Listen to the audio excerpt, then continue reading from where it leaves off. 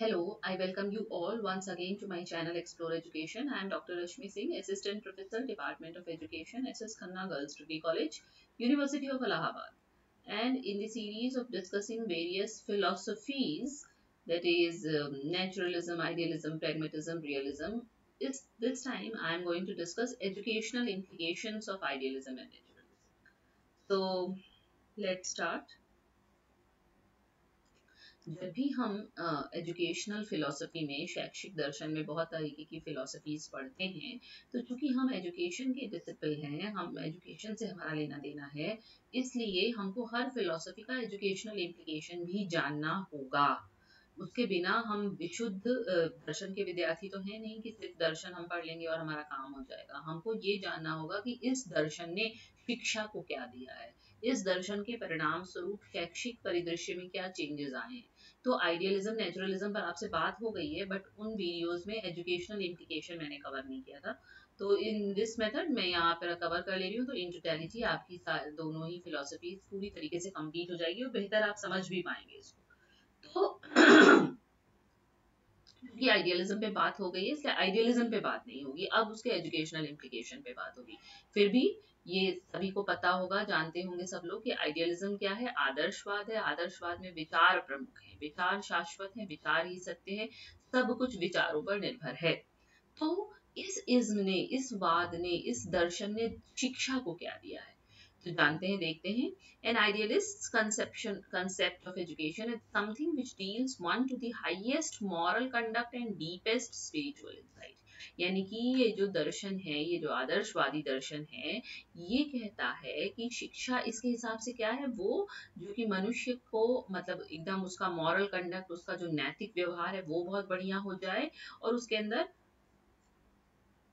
Deepest एकदम आंतरिक रूप से आध्यात्मिक अंतर्दृष्टि मिल जाए, ऐसी शिक्षा को आदर्शवादी सही मानते हैं। इसका मतलब कि आदर्शवादी इस तरीके की शिक्षा को को बल देते हैं जिससे कि व्यक्ति के मॉरल कंडक्ट और डीपेस्ट स्पिरिचुअल इंसाइट का विकास हो सके। It is believed that only through education a man led to realize the truth, beauty and goodness, value for life. इसका मतलब कि आइडियलिस्ट के हिसाब से जो वैल्यूज़ हैं वो क्या है? ट्रुथ ब्यूटी एंड गुडनेस यानी कि सत्यम शिवम सुंदरम भी इसको कहीं कहीं कहा जाता है। ये कह रहे हैं कि it is believe that only through education मतलब केवल शिक्षा के द्वारा एक व्यक्ति जो है वो अपने जीवन के आदर्शों सत्य अट्रैक्टिव और सुंदर को पा सकता है। हम्म मतलब इस तरीके की शिक्षा होनी चाहिए। मतलब आदर्शवाद ऐसी शिक्षा को प्रधानता देता है। हम्म फिर according to Ross the function of education is help us in our exploration of the ultimate universal values so that the truth of the universe may become our truth and give power to world ये कह रहे हैं ना कि शिक्षा का कार्य ये है कि हम अल्टीमेट यूनिवर्सल वैल्यूज़ है वही ट्रूथ ब्यूटी गुडनेस की बात हो रही जो एकदम अंतिम हमारे सार्वजनिक मतलब सार्वत्रिक जो मूल्य हैं, उनको हम पा सकें So he mentioned that education is expected to enlarge the boundaries of the spiritual realm. वो कह रहे हैं, इसलिए शिक्षा का क्या मतलब किस लिए शिक्षा अपेक्षित है कि जो हमारा आध्यात्मिक, जो हमारी बाउंड्री है मतलब आध्यात्मिक जो हमारा लेना देना है, वो इनलार्ज हो सके, यानी कि व्यक्ति आध्यात्म की तरफ़ जाए। क्योंकि आपको पता है कि सबसे पुरातन ये वाद है तो ये आध्यात्म पे स्पिरिचुअलिज्म पे मॉरल कंडक्ट पर बल देता है। तो आपसे सवाल इस तरह से भी पूछ सकते हैं कि what is the relevance of idealism in present day context तो आप ये भी कह सकते हैं कि बिकॉज़ इतना समाज में वैल्यूज़ का क्षरण हो गया है, खत्म हो गए हैं, मूल्य तो अगर हम आदर्शवाद को अपनाएँगे तो निश्चित रूप से मूल्यों के पुनरुद्धार में मदद मिलेगी। तो इस तरह से भी आप इसको समझ सकते हैं। इन words of idealists, man's natural, man's nature is spiritual and divine ये कह रहे हैं कि the word of idealist मतलब आदर्शवादियों के शब्दों में जो व्यक्ति का नेचर है, वो क्या है? स्पिरिचुअल है और डिवाइन है। मतलब अध्यात्म से परिपूर्ण है मनुष्य की प्रकृति। A man can realise himself only through education और मनुष्य जो अपनी आध्यात्मिक शक्ति को केवल शिक्षा के द्वारा पहचान सकता है। लेकिन social aspect of education is not all together neglected by the idealist idealist ने लेकिन सामाजिक परिदृश्य को, सामाजिक परिप्रेक्ष्य को भी पूरी तरीके से नकारा नहीं है। They regard education as a social necessity as well मतलब आदर्शवादी शिक्षा को एक सामाजिक आवश्यकता भी मानते हैं। Such a projection should reflect the good of the society यानी कि ये समाज की अच्छाई के बारे में भी बात करते हैं। यानी कि व्यक्ति का भी भला चाह रहे हैं समाज का भी भला चाह रहे हैं तो आप एक तरह से कह रहे हैं कह सकते हैं कि ये बैलेंसिंग एक्ट है between individual aim of education and social aim of education तो ये भी एक अच्छी बात है। फिर Idealistic in education involves depth of learning, a holistic approach that involves teaching the whole rather than its part. यानी कि जो आदर्शवादी आदर्शवाद मानने वाले हैं, आदर्शवादी शिक्षा, वो कहती है कि डेप्थ ऑफ़ लर्निंग पे ये भरोसा रखते हैं। मतलब कि हमको अंदर से सरफेस लेवल की पढ़ाई का नहीं मतलब है। डेप्थ ऑफ़ लर्निंग हमको जाना है, अंदर से जानना है, किसी चीज़ को गहराई से जानना है। एक होलिस्टिक अप्रोच की बात करते हैं। और ये इस पर प्रमुखता देते हैं कि हमको होल एक होलिस्टिक अप्रोच के तहत पूर्ण संपूर्णता के साथ पढ़ाना है। मतलब ये नहीं टुकड़ों टुकड़ों में नहीं पढ़ाना है ताकि उसका कुछ अर्थपूर्ण होल हो। हम्म। The best method of learning for Plato was the dialectic, a process where ideas are put into battle against each other, with the most significant idea winning the battle. ये कह रहे हैं कि चूँकि प्लेटो जो है आप एक तरह से आइडियलिज्म के जनक मान सकते हैं वेस्टर्न फिलोसफी के वेस्टर्न समाज में। तो प्लेटो के हिसाब से जो मुख्य इन्होंने हमको शिक्षा में जो टीचिंग मेथड दिया है, वो डायलेक्टिक है। तो डायलेक्टिक में क्या होता है? ये कह रहे हैं कि डायलेक्टिक एक तरीके की प्रक्रिया है, जहाँ पे विचार, विचारों की लड़ाई है, क्योंकि विचार ही प्रधान है। तो कह रहे हैं कि एक युद्ध चल रहा है, जिसमें विचार विचार से टकरा रहे हैं। तो जो सबसे सिग्निफिकेंट आइडिया होगा, जो सबसे महत्वपूर्ण विचार होगा, वो जीत जाएगा। तो एक तरीके से हमारी थिंकिंग को रेशनैलिटी को बढ़ाने का काम आइडियलिज्म ने किया है। Idealist teaching methods should encourage learners to enlarge their horizon. ये कह रहे हैं कि इस तरीके के शिक्षण विधियों को आइडियलिस्टिक लोग मानते हैं, उसको प्रमुखता देते हैं, जो कि लर्नर्स को हेल्प करता है। कैसे हेल्प करता है? प्रोत्साहित करता है टू इनलार्ज देयर होराइजन जो हमारा मानसिक पटल है, उसका विस्तार हो सके। स्टिमुलेट रिफ्लेक्टिव थिंकिंग उच्च स्तर का हम चिंतन के लिए हमको स्टिमुलेट करता है। इनकरेज पर्सनल मॉरल चॉइसेस हमारी जो वैयक्तिक, नैतिक, हमारे जो चॉइसेस हैं, उनको इंकरेज करता है provide skills in logical thinking इतना थिंकिंग पे बल है क्यों? क्योंकि सब कुछ आइडिया पे डिपेंडेंट है, इसलिए लॉजिकल थिंकिंग के लिए भी बढ़िया है ये. Provide opportunities to apply knowledge to moral and social problems stimulate interest in the subject content and encourage learners to accept the values of human civilisation देखिए, इतनी सारी अच्छाई है ये हमको शिक्षा में आदर्शवाद में दी है। हमारा होराइजन इलाज हो रहा है, हमारे हमको रिफ्लेक्टिव थिंकिंग का स्टिमुलेशन मिल रहा है मॉरल चॉइसेस हमारी इंकरेज हो रही हैं, हम लॉजिकल थिंकिंग में स्किल्ड हो रहे हैं, हमको अपनी नॉलेज को अप्लाई करने के लिए अपॉर्चुनिटीज़ मिल रही हैं सब्जेक्ट कंटेंट में बच्चे का इंटरेस्ट आ रहा है और हम ह्यूमन सिविलाइजेशन की वैल्यूज़ को भी एक्सेप्ट कर रहे हैं। तो इतनी, इतना शैक्षिक निहितार्थ तो इसी पॉइंट में निहित है आदर्शवाद का। फिर learning for idealist is an exercise in stretching the mind to its fullest so that it can absorb and handle ideas ये कह रहे हैं कि आदर्शवादियों के लिए अधिगम क्या है? एक एक्सरसाइज है, एक अभ्यास है, जिसमें हम अपने दिमाग को फैलाते हैं, जहाँ तक वो फैल सकता है, जिससे कि वो एब्जॉर्ब कर सके, जिससे कि वो अवशोषित कर सके, जिससे कि वो हैंडल कर सके विचारों को। तो जितना ज़्यादा दिमाग का फैलाव होगा, उतना ज़्यादा वो आइडियाज़ को एब्जॉर्ब और हैंडल कर सकेगा। फिर idealists have stress the of mind over matter ये बात बार बार आई होगी आइडियलिज्म जब बात की जा रही होगी, कि माइंड की प्रधानता है। मतलब मैटर की प्रधानता नहीं है। मेटीरियलिस्टिक समाज को नहीं मानते, ये विचार को मानते हैं मन मन की महत्ता है। Idealist conceive of people as thinking beings who have minds capable of seeking truth through reasoning ये कह रहे हैं आदर्शवादी लोगों को मान, मानते हैं कि वो हम विचारक लोग हैं। मतलब जो व्यक्ति है उसके पास विचार करने की क्षमता है उसके पास जो दिमाग है उससे वो कैपेबल है वो योग्य है ताकि वो रीजनिंग के द्वारा सच निकाल सकेगा।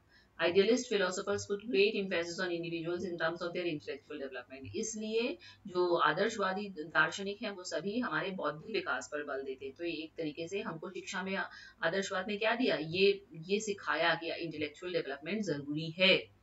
जिस तरह से सवाल पूछा जाए, उस तरह से आप उसका उत्तर देने की कला आपको आनी चाहिए, आपको पॉइंट्स क्लियर होने चाहिए बस। Idealism considered student as individuals with inner potentials education should help the students to realize these potential वो कह रहे हैं कि आइडियलिज्म ये मानते हैं, ये आदर्शवादी मानते हैं कि जो विद्यार्थी है, वो वो इंडिविजुअल है जिसके पास पोटेंशियल है, जिसके पास शक्ति है, विभव है, वो कुछ बन सकता है। हमको शिक्षा से सिर्फ़ उसके, उस विभव को बाहर निकालना है। The teacher should impart essentials of knowledge and assist to develop moral and aesthetic values in the child. तो शिक्षक को क्या करना है? हमको उसको नॉलेज प्रदान करनी है, हमको उसको असिस्टेंस प्रोवाइड करनी है, सहायता देनी है, ताकि बच्चे के अंदर नैतिक और सौंदर्यात्मक मूल्य विकसित हो सके।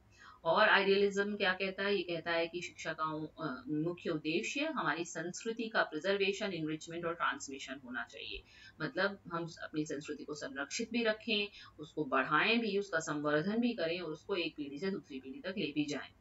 Education must contribute to development of overall culture तो इस तरह से पूरे कल्चर के डेवलपमेंट की ज़िम्मेदारी शिक्षा की है और idealism in education means to develop a good relation between student and teacher ये तो बहुत ही ज़्यादा प्रेजेंट कंटेक्स में ये ज़रूरी चीज़ है कि जो बच्चे शिक्षक का सम्मान नहीं करते हैं और ये जो ये जो बढ़िया सा रिलेशनशिप था, ये जो कहीं डिस्टॉर्ट सा हो गया है तो अगर हम आइडियलिज्म को अपनाएँगे या आइडियलिज्म ने हम कहें कि शिक्षा को क्या दिया है तो शिक्षा को एक बढ़िया रिलेशन दिया है उसने शिष्य और के बीच में।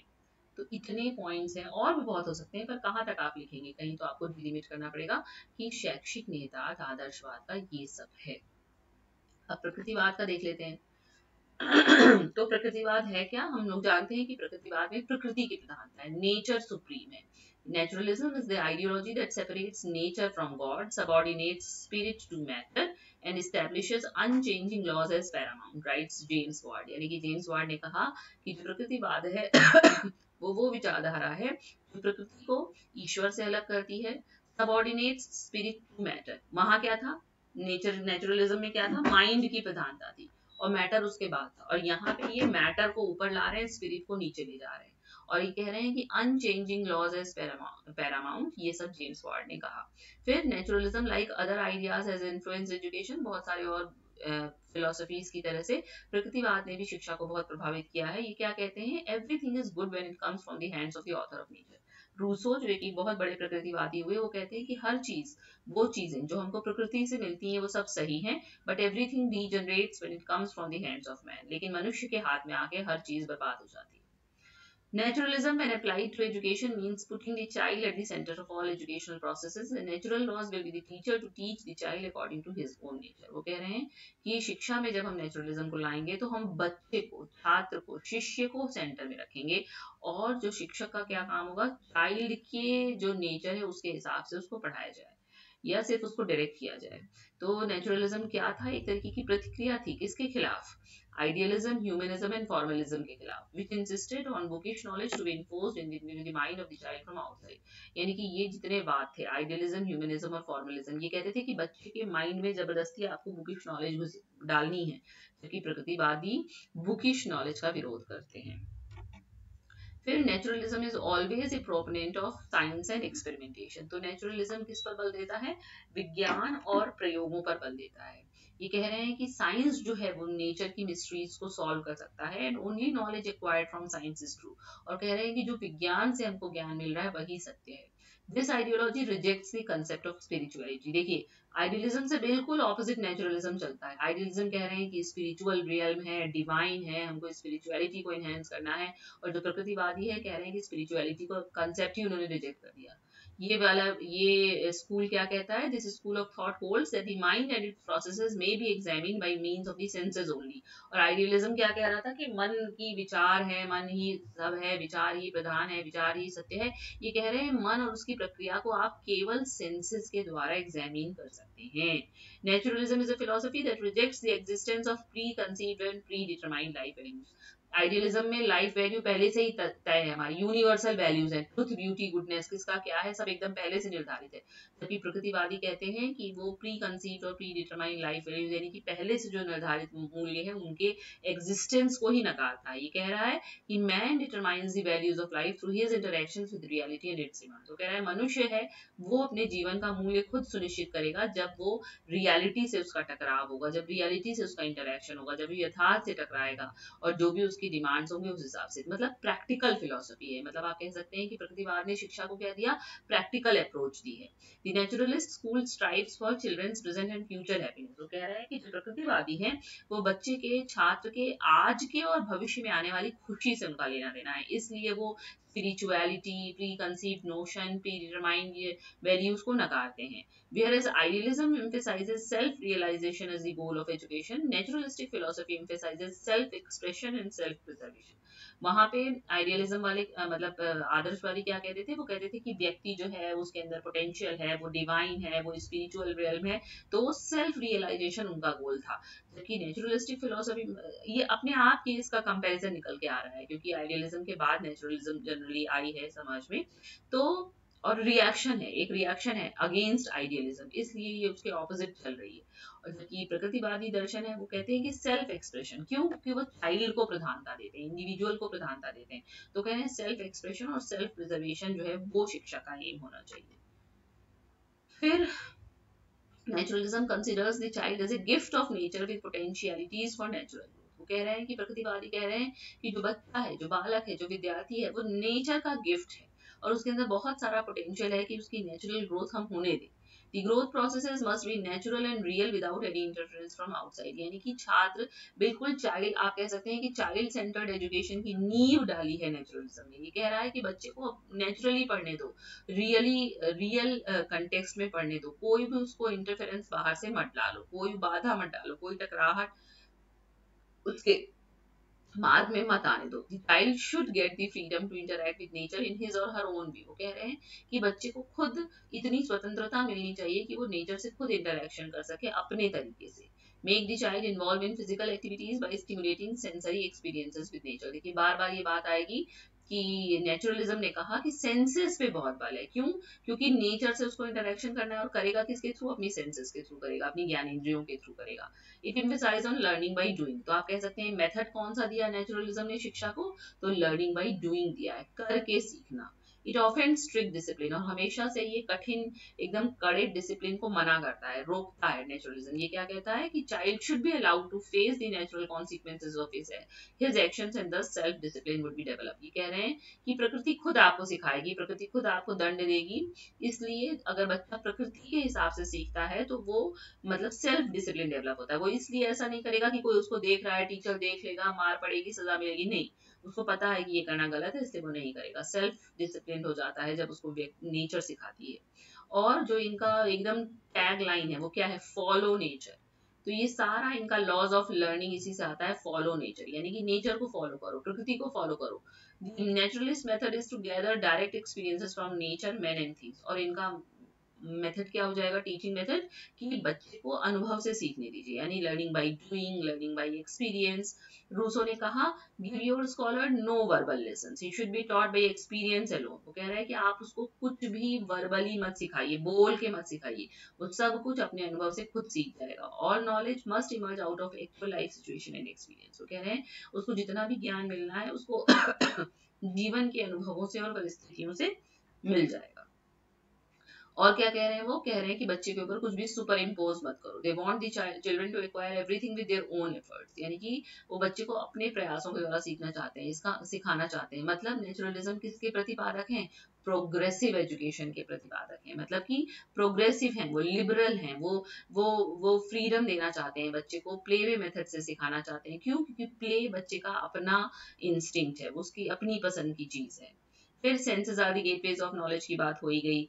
Education is very much effective and it comes through sensory channels है ना? तो क्या क्या नेचुरलिज्म ने सिखाया? हमको सेल्फ एक्सप्रेशन सिखाया फॉलो नेचर सिखाया, प्रकृति को फॉलो कीजिए ऑटो एजुकेशन बच्चे को स्वयं सीखने दीजिए प्ले वे मेथड से सीखने दीजिए पीडो पीडोसेंट्रिज्म पीडोसेंट्रिज्म का भी मतलब चाइल्ड सेंटर्ड से ही है। सेंसेस की ट्रेनिंग कराइए self discipline and learning by doing are some of the main characteristics of modern education और जो हमको किसने दिया है? प्रकृतिवाद ने दिया है। तो प्रकृतिवाद का इतना कॉन्ट्रीब्यूशन शिक्षा के क्षेत्र में है।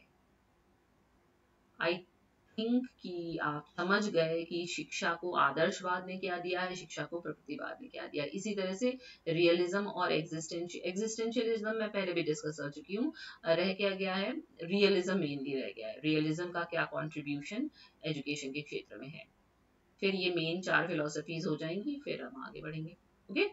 So thank you and don't forget to like and subscribe my channel, Explore Education. I have done from myself.